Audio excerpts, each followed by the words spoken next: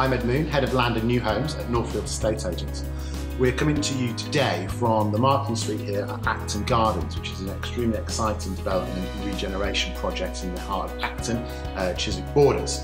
Um, this morning we have launched to our staff a selection of apartments which are available to come down and have a look at now. Um, they range from two bedroom Uber houses through to three and four bedroom penthouses and townhouses three and four bedrooms. We're going to go down and have a look at them now.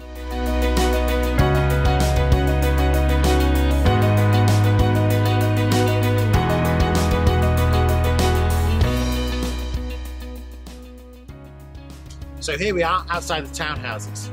The Uber houses are situated around the corner and the penthouses up on the top there. As you can see, the units are built, the development's complete, you can come down and see these properties. Now that is rare with new homes, normally you're buying off a piece of paper. Please make contact with our offices. As we previously said, they've got all the information. They've had this launched this morning, they're extremely well versed and would love to take you down here and show you around these properties. Thanks very much.